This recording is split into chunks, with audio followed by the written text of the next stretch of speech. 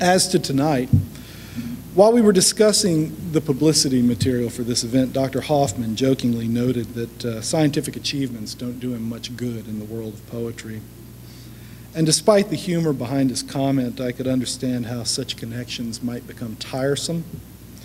Even the blurbs on his book jackets highlight the link, as in George and Eva Klein's assessment, that Roald Hoffmann remains a scientist in his poetry, and he is a poet when he teaches science. It's a good tagline, but as with most sound bites, I wonder if it obscures as much as highlights the truth. Clearly, Dr. Hoffmann remains interested in science, even in his guise as poet and dramatist.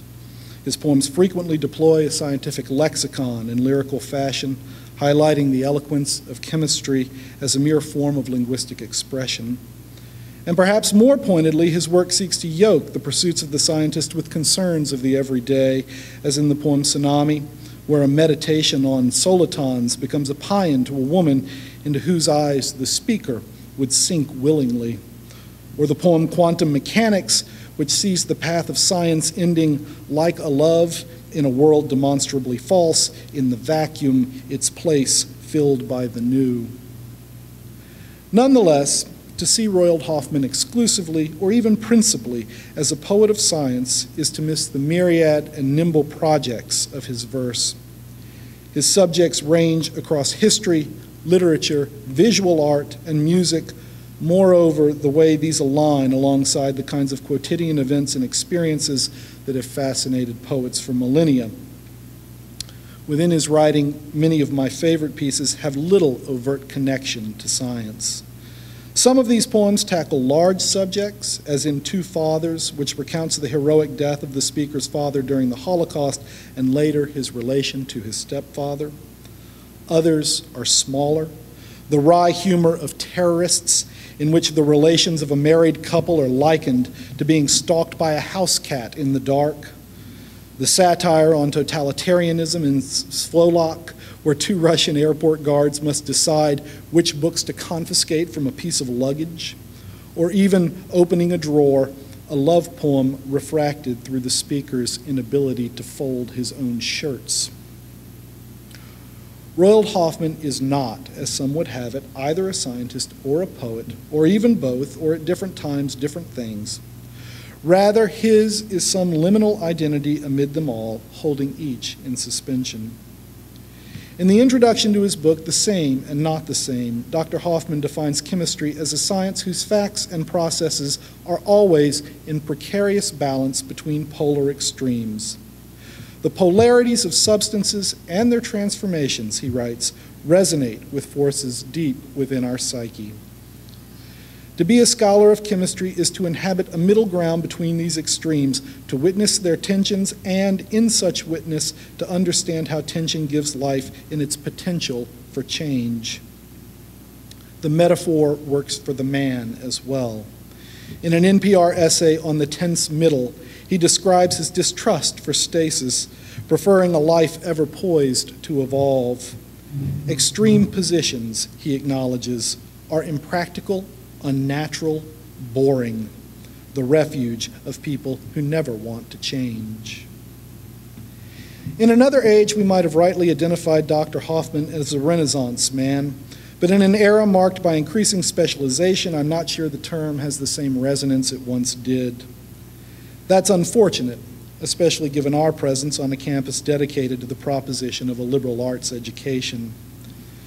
Despite our rhetorical homage to a general intellectualism, I fear we don't always mean it.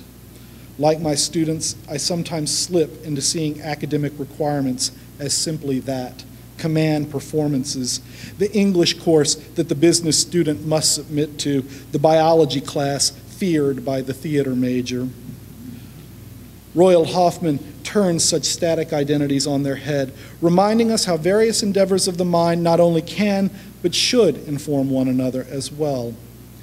In a world where so many of us struggle with a solitary skill set, he is master of many precisely because he does not see ideas in isolation, but as part of an intellectual chorus whose song is undeniably stronger than any single voice. Roald Hoffmann is presently Frank H.T. Rhodes Professor Emeritus of Humane Letters at Cornell University, where he has taught since 1965. He has published five collections of poetry as well as three plays, one of which, Something That Belongs to You, had a staged reading at the Modlin Center in 2009. He has authored a number of books about chemistry for the general public and is the presenter of the PBS World of Chemistry video series. Since the spring of 2001, he has been the host of a series at New York City's Cornelia Street Cafe called Entertaining Science, which explores the juncture between performance, art, and science. And, incidentally, in 1981, he was awarded the Nobel Prize in Chemistry. Not bad for a poet. We're thrilled to have him with us tonight. Please help me welcome Roald Hoffmann.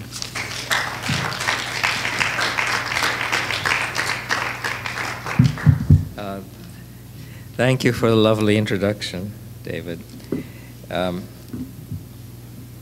I hope the chemists in the audience are taking notes on what makes a good introduction so they live up to that.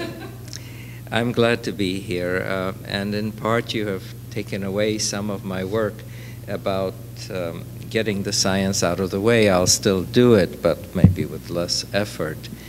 Uh, in because it's the first thing that comes to people's minds when they uh, hear me read.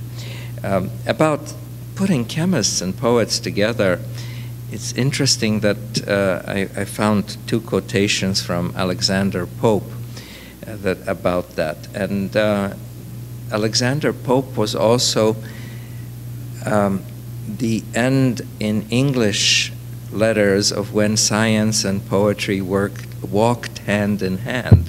So Pope could write about these, and so could Coleridge. Uh, Coleridge went in search of metaphors. When in want of metaphors, he went to his friend, uh, to, his um, friend Humphrey Davy to see some demonstrations. After that, poetry and science sadly parted company in English and in other literatures too. Anyway, here's Alexander Pope's uh, Pope writing. Um, See the blind beggar dance, the cripple sing, the sot a hero, lunatic a king the starving chemist in his golden views, supremely blessed, the poet in his muse. In another place he writes, Hence the fool's paradise, the statesman's scheme. Incidentally, if you want a title for your next book, Pope is a good place to look. There have been hundreds of titles from these lines. Hence the fool's paradise, the statesman's scheme, the air-built castle and the golden dream, the maid's romantic wish, the chemist's flame, and poet's vision of eternal fame. So they're both equally deluded, the alchemist and the poet. So we're joined together in this. Um, now, let me talk a little bit. Uh, I don't want to talk really about science and poetry, but I'll read you a poem where the language of science um, is uh, comes is connected to the language of poetry, but they're still kept separate. Um, so the story behind this is that um, Carlos Fuentes, the great Mexican writer, was giving some lectures at Cornell about Mexican literature for a semester. We became friends, and uh, uh, he, one lecture told the story of Sor Juana, a Mexican nun who, at the end of the 17th century, uh, wrote poetry and had to enter a convent to do that.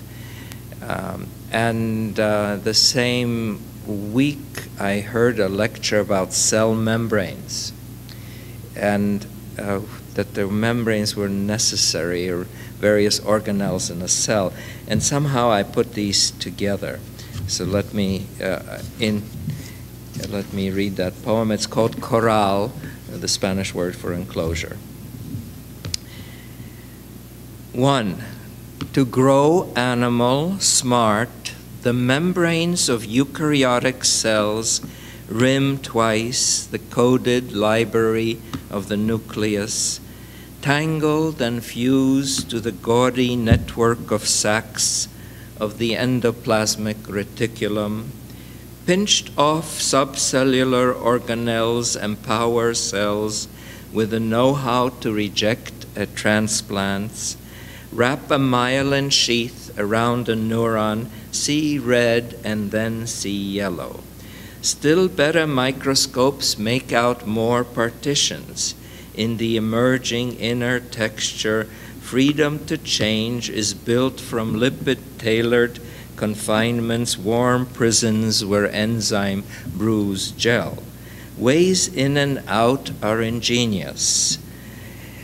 Shaped pores, embrasures, and this chemical escalator called active transport. Fluid, mosaic, the membranes hold sequestering works. Two, in 1655, Juana Inés de Asbaje begged her mother to dress her as a boy so that she could study at the University of Mexico. At the court of the viceroy, she astounded 40 professors with her mathematics and Latin odes but it was not a time for learned women in Mexico. So Juana entered the convent of San Jeronimo. Within watched two girls spinning a top, and from what she called her black inclination for wisdom, had flowers sprinkled, so that as the top danced out its loss of momentum, one might see its spiral trace and not a circle. Juana mixed earths and in a library of 4,000 volumes wrote theology and love poems, Sor Juana Inés de la Cruz, shutting herself in the cell where knowing is permitted. So they're separate, um, but I saw something similar between those two parts of my life. Uh, could I bring them together in some way? The first part of the poem illustrates that uh, the very language of science has all these neat words which mean sometimes uh, very specific meanings, but they're nice sounding. I mean, a word like eukaryotic, it's very hard to do better than eukaryotic. Um, uh, but uh, it also illustrates one of the problems that I have when I use those words in a poem and that is that this is the. When you read a poem, or when you hear a poem, you don't always understand every word in that poem, or you don't understand even the meaning, especially in contemporary American poetry where the self figures very strongly you may not share that experience. It's probably a bad poem if you can't share that experience in some part. But uh, you don't understand something, but you're forgiving because we float on the sound of the words to the next piece where meaning makes its place. Now, if there are too many disconnections of the audience from the meaning, you will go to sleep. But if there are, if, but you are forgiving. You don't have to understand everything when you hear a poem. The problem with science is, is that for most Americans, let's blame a teacher for it. Somewhere in grade school, someone told you, this is science. You're supposed to understand this. And if you don't understand this, you're stupid. Okay, that's a very heavy burden to bear, to bear if, if I want someone to also float on the sound of the words until the next piece of meaning comes in. Let me uh, read one of the other poems that was mentioned here uh, by David when he introduced me, and that was the soliton uh, idea, which is described in this poem. So, soliton is a solitary wave, and a tsunami is one example of it. And unlike regular waves, which, while they can do damage near shore, but in the middle of the ocean, you just bob up and down as a wave goes uh, through you. Uh, but uh, solitons carry a lot more energy and are different kinds of waves. Uh, but they have this incredible property, these waves that carry energy, is you think that like arrows, when, when two solitons collide or one catches up with another one, there's going to be mayhem. But they just pass through each other untouched. And this is very hard to believe, but if you go to YouTube, the current source of wisdom, you can, you can, see, um, you can see pictures of that happening with solitary waves. Tsunami. A soliton is a singularity of wave motion, an edge traveling just that way. We saw one once filmed moving heedlessly across a platinum surface. Solitons pass through each other unperturbed. You are a wave not standing nor traveling, satisfying no equation. You are a wave which will not be Fourier analyzed. You are a wave in your eyes I sink willingly, not solitons. We can't pass through unaltered. Now I'd like to read a group of poems. So now I'm done with the science. No more science, unless it comes in naturally. Um, it will come in in various ways. But here is a few poems from a special place, which was an artist colony started by another chemist, Carl Djerassi, and it has. Uh, and uh, it is very far from either Ithaca or Richmond. It is in the Santa Cruz Mountains, um, over the, six miles from the sea, uh, over the hill from Stanford. A beautiful, rather different kind of countryside. And here's one poem that came from that. Here's what the wind will do. Sweep up the gully as airy serpents of tall grass. Elsewhere, steady but shifting, bend thistle, uh, bend thistles into treble clefs and ampersands, or rampant fell a redwood pulling its roots, an oak span into the air, even remind me of you blowing across my sweaty belly. Okay, so there were these thistles. These were there were hills yellowing. Um, there were cattle grazing on the hills, and there were these thistles along a path, and the thistles looked like that. So I used them to make this poem. The next day, and I thought that it was the rain that had beaten them down, and then they came up. There were very strong rains sometimes. Next day, someone told me it wasn't the rain; it was herbicide.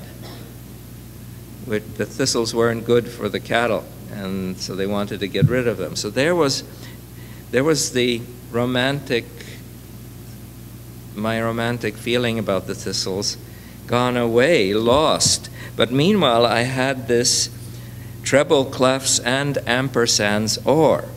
Now, uh, it's pretty hard to get ampersands into a poem.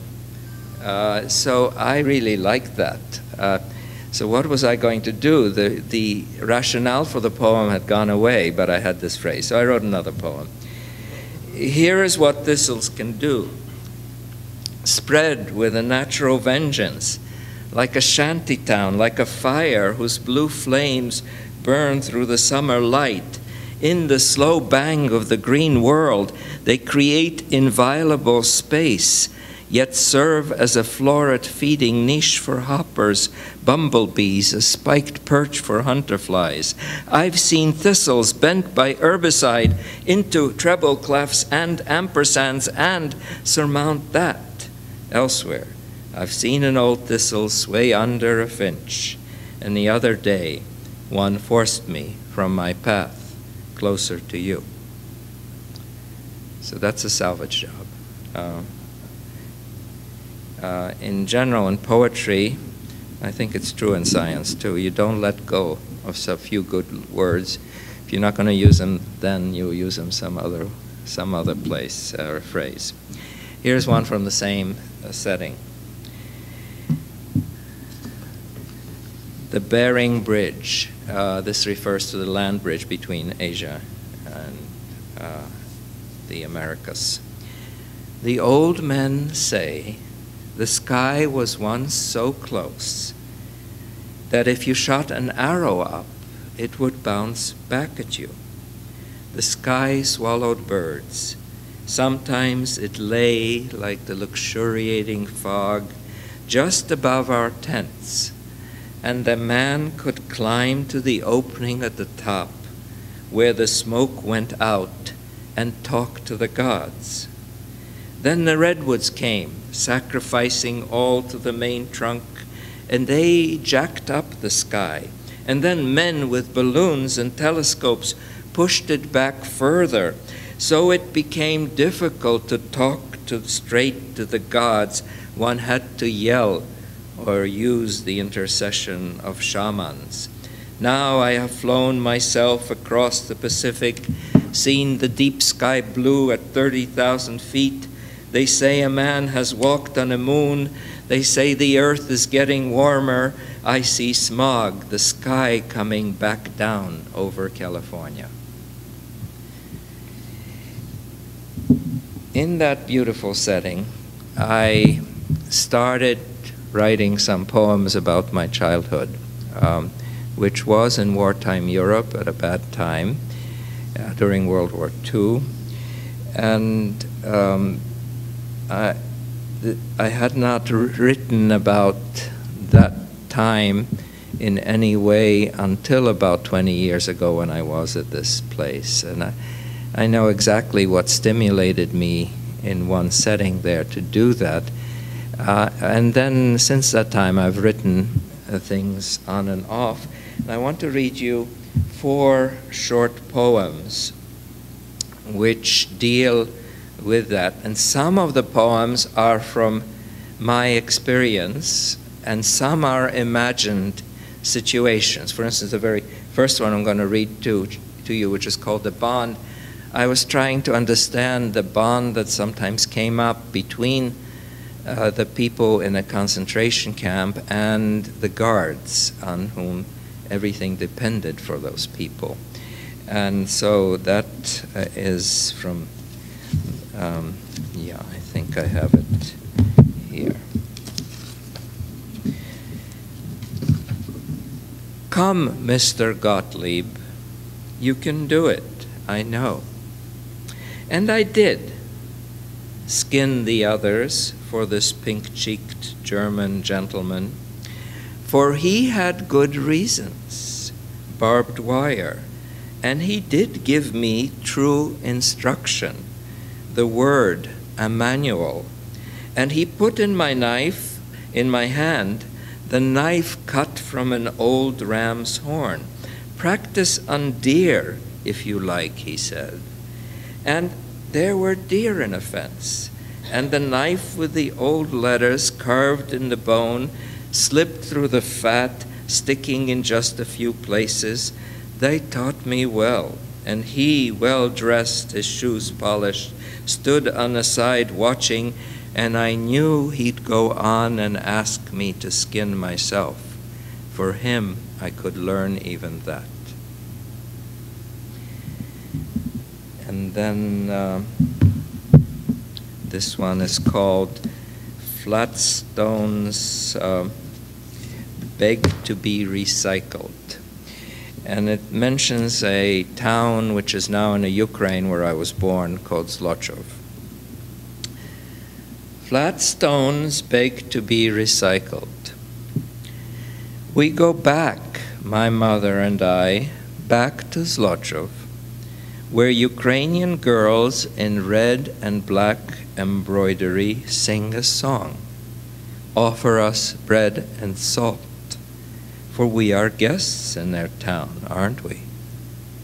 But we look down, clement June turns December, snow begins to fall, outline the scratches in the paving stones so they grow into Hebrew letters. We stand in a minefield. My mother has trouble seeing in the snow.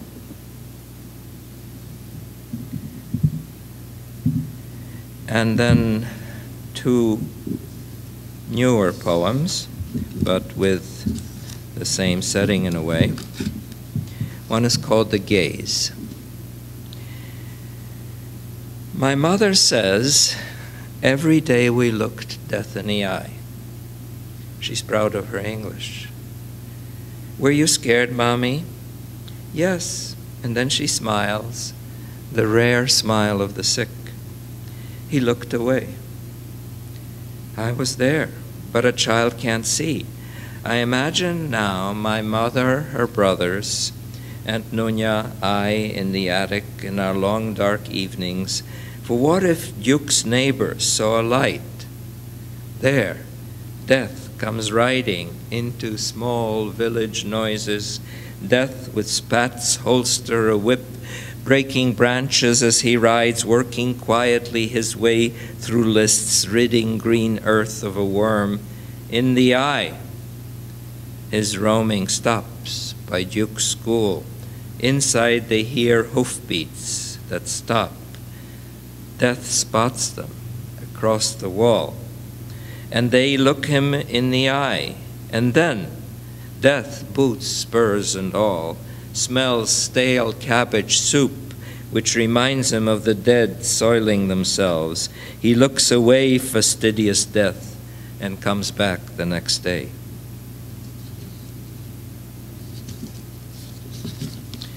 And this one is called Rat Language. The same word occurs here, which I should have warned you about. There is a word Duke, which is the name of the family that uh, us out in this attic. Uh, it's a Ukrainian family name. That name recurs in here also. Rat language. There is a woman trapped under a grate. She spoke to me calmly, asking for help. We must save her. But move slowly, for she's grown in there, grown to the shape of the sewer.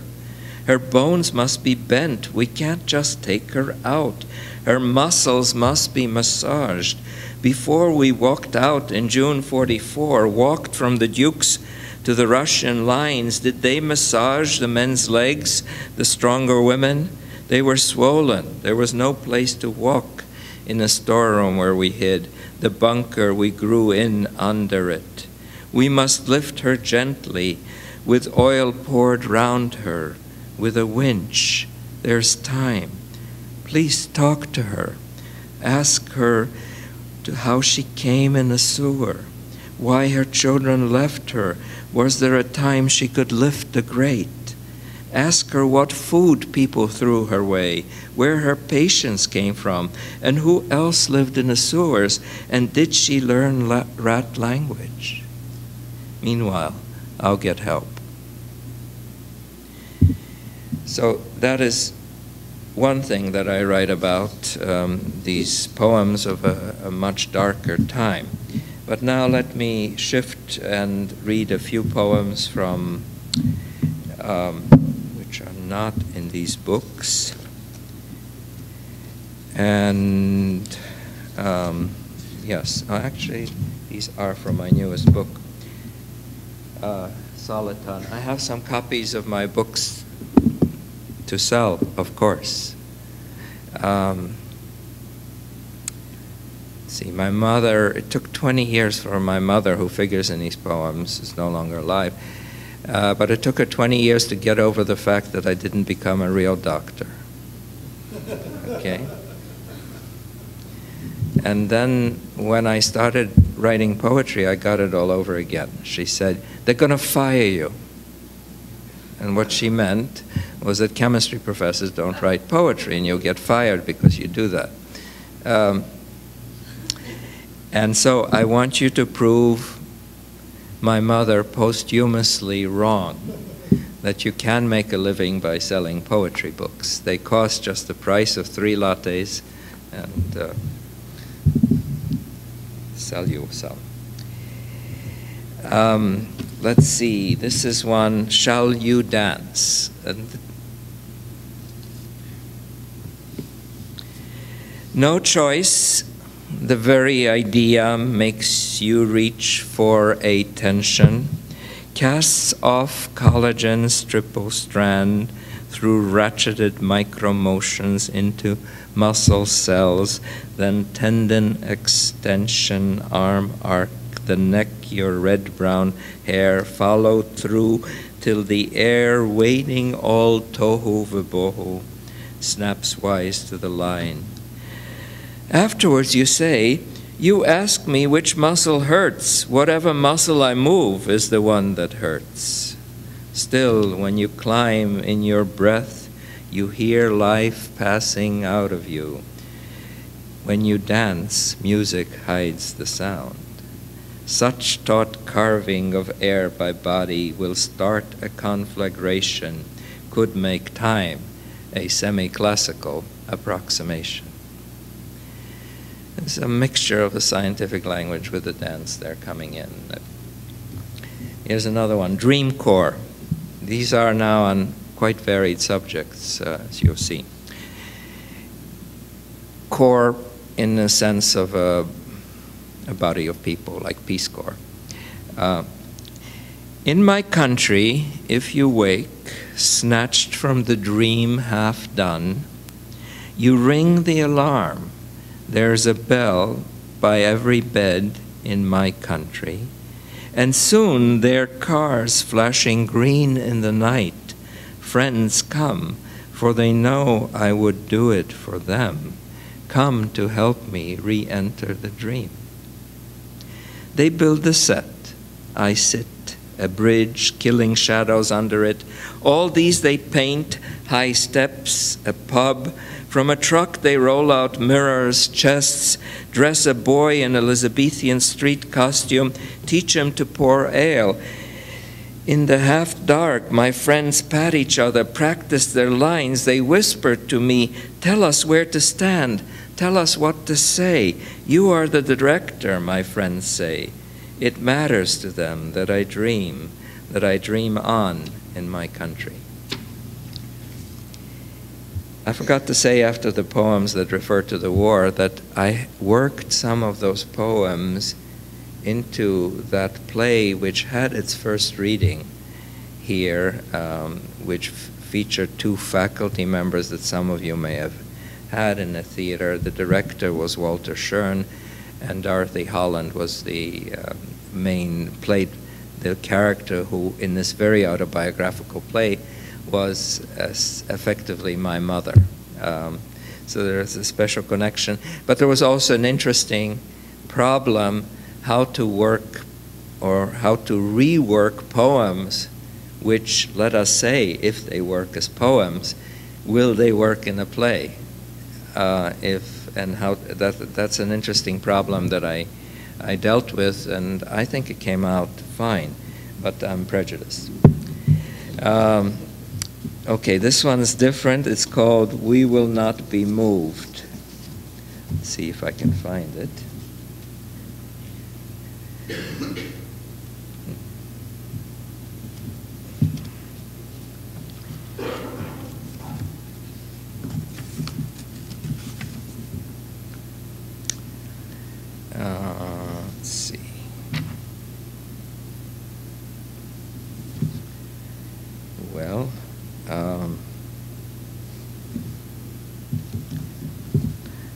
Sure I have it with me actually, and I don't quite have it memorized.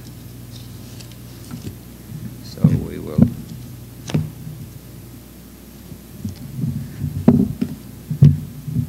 Let that one go for a while. Uh, but uh, let me try this one, which is called Birdland. And for some people, does not need to carry a credit to Wallace Stevens. There's a poem he wrote about, so some of you may know, and if you don't, you, you should read it. It's a wonderful 20th century poem. Birdland. It has nine parts. One, a bird is a bird is not the same bird. To be, a bird must be the bird it is sparrow, ortolan, warbler, barn owl, short toed eagle, Egyptian vulture, tit and wren, magpie. Three, and as it is seen, it is.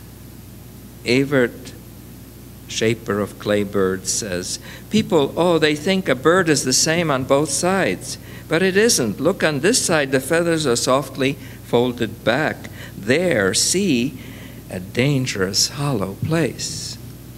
4. A bird crossing fighter contrails vouchsafes flight in man bird heaven. 5. I, a cedar, six blackbirds. The one many problem is nervously resolved. 6. A bird rising in the dynamical correlation of oak thicket and cloud, what was sundered on the second day is made whole. 7. The scatter of sparrows works out the space where they were. 8. A thrush sings out, but it is in a cage, hung on a tree. No, not one, but ten. Oh, how many birds will make a brochette de grive? And where, hunter, will their breast spots have gone? 9.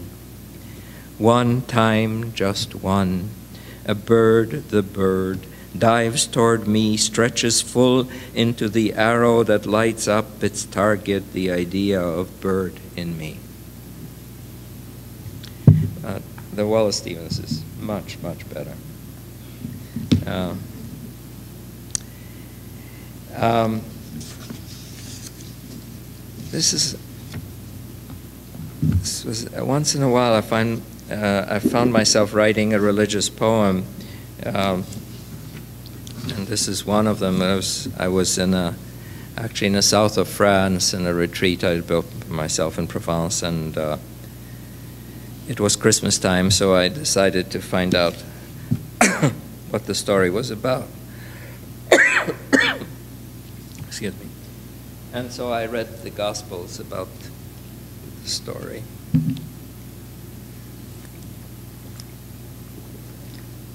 This is called communication problems. They needed each other, and as I wondered why, I imagine he too tried to understand what had come of the stray seed set in a murky tide pool. At time he spoke to them, like one man to another. A few heard, the others ignored him. So he hid his voice in whirlwinds and then, thinking they'd listen closer to their own, spoke through prophets. When this didn't work, he tried dreams. Oh, they were in want of guidance, these people. Even wise kings had to be told not to go to Herod, and the next moment Joseph to take his small family to Egypt. Still later, he resorted to planting visions in Teresa and Hildegard.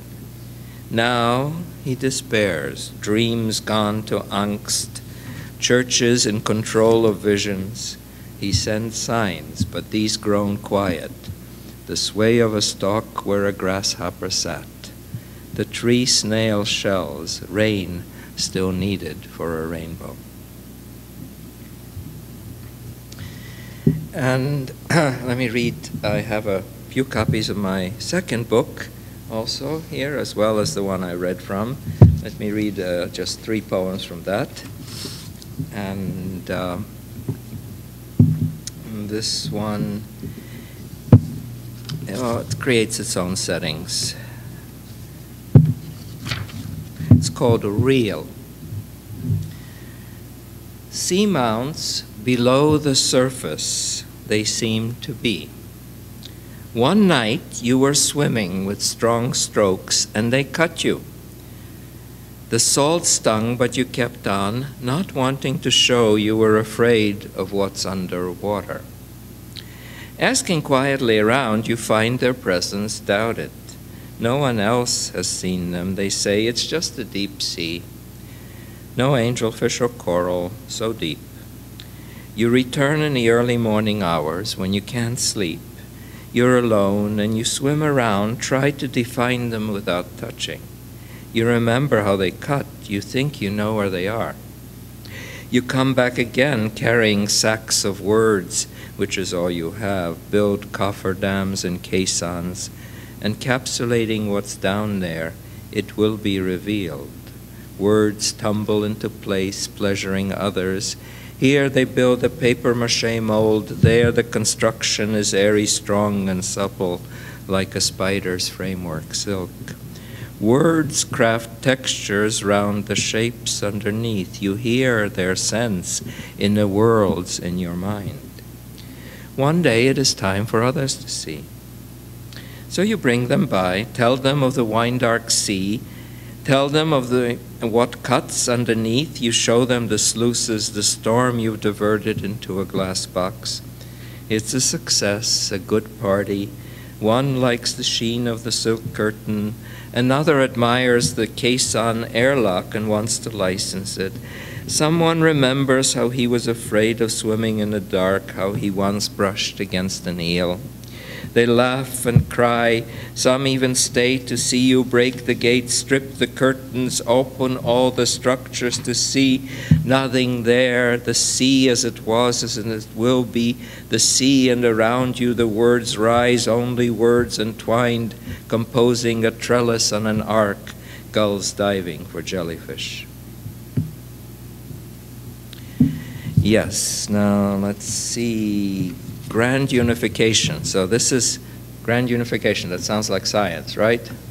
Okay, so you're going to get it. This is all about string. This is my string theory poem. This is just a rule. Strings that meet, wriggling in their roughened up space time, if their tips just touch, they must merge in bigger lines, loops, necklaces, or thatching self assemble. This is so, but it is not real. It's just a rule. Loops tangle, there is an exchange of quantum numbers. The stray collision sets the strings rotating, rippling a whip, and then the extra snap loses a particle, boson or fermion, and light any color. The math says it must be so. Mind you, this is not people passing, a look that locks on some mist braid of a future.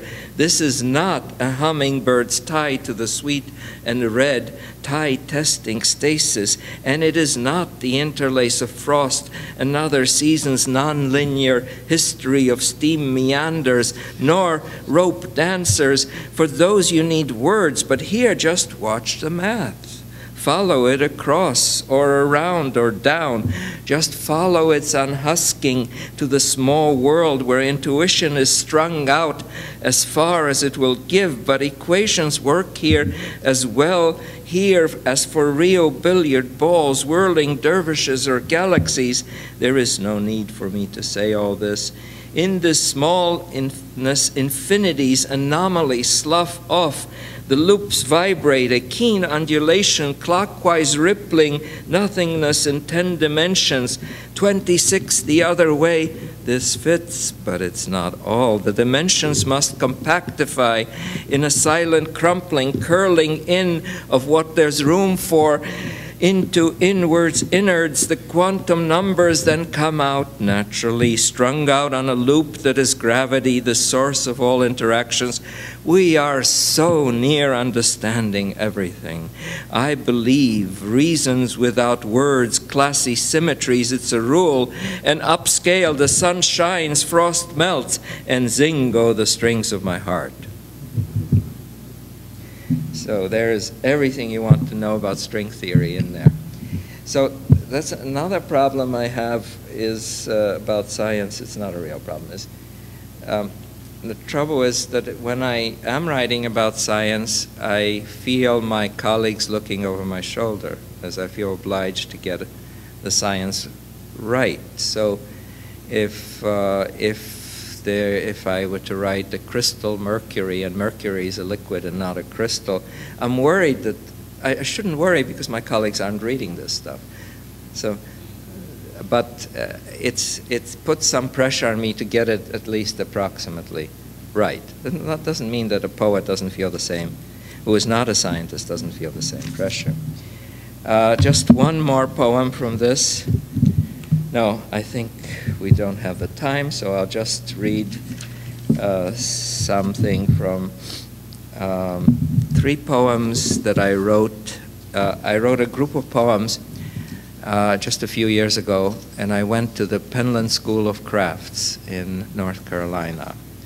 And a wonderful 75 year old, now almost 80 year old craft school.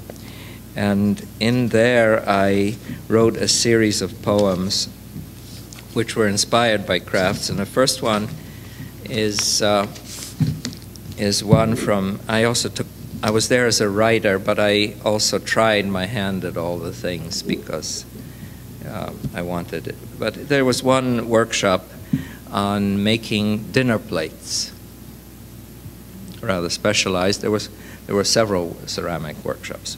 I look at ceramics a lot, and I've written about it.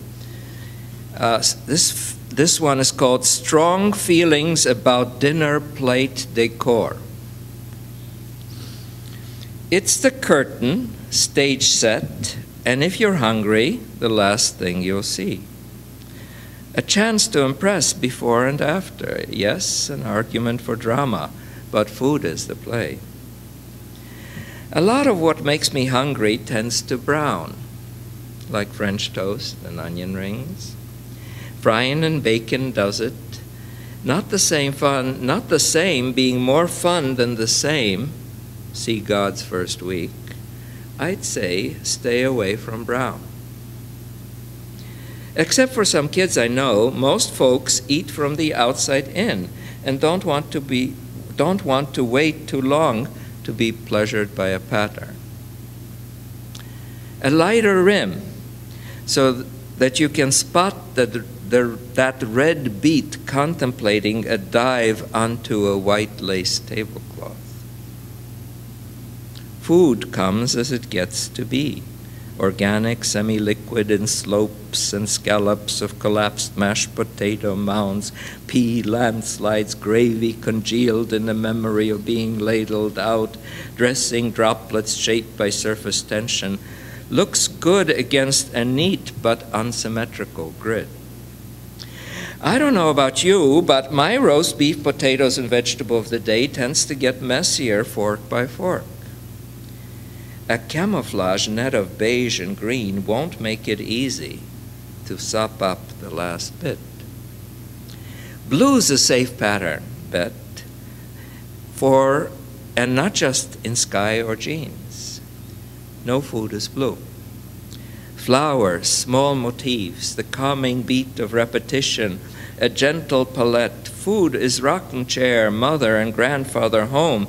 The way to your mouth is not in your face. No worms or snakes. No Roger Bacon sides of beef. For that matter, no frolicking sheep or chickens, especially no calves or suckling pigs. Little fish are okay. We're human, please. No concave surfaces, no knife traps in corrugated terrain. All this said and done, it's not that different from marrying someone. Oh, there's reason, and parents will tell you whom they don't like, while you just go on and find that special one who is like your mother or first wife or not. My mother used to tell me, You sleep where you make your bed and eat from plates, lovely plates, made to break every rule. I think there aren't too many poems. If there's a competition for poems about plate decor, tell me about it. and here's two more. This is now from a metal shop, a metal workshop. It's called With or Against. From a workaday rusty bar, the saw cuts a cube of steel. Its face shines bright as love, welded in arc and sparks to a rod, in and out of a forge spilling flame. A steel cube is swung to anvil, its yellow red like rose hips in our valley. A woman bracing a chisel, a man swinging sledgehammer. Twenty kinds of nerves go to the hand, like the line cut in a block, now cooling, soon to make patterns in another, you marked me. Do we follow the way of steel, its impure alloy strength. A master smith said, Comply, but contend, make hard soft, hard again, beat blade and girder into rabbit's ear and morel. Love, oh love for steel too, is built sweet out of strict desire for the you that is not you, you. And this is another one now in glassmaking. Um, choice. Glass won't think, red orange out of the furnace, its mass wrapped around a pipe, it cools, a dark red fades, revives in the oven, sags a spell. I would be glass giving. The glassmakers control. Into the fire, he says, out. He presses the glass with cork boards, sparks fly, his tongues constrain, glass plunged into water, and ashes crackle, saved. I would be the glassmaker. But who controls whom? Thought gone into feeling in his hands, an arc swung, and glass, only glass could, stretches, sets, one curve gently nestled into another, near as we were to music. Not too cold, cold, not too hot even tempered, annealed, disorder flows, blessing change in life's shape. Soon when we meet, will you, will you be glassmaker or glass? And let me finish with two poems, one from the same California setting uh, that I mentioned before, and one from Provence. So there are two rather different parts of the world. Um,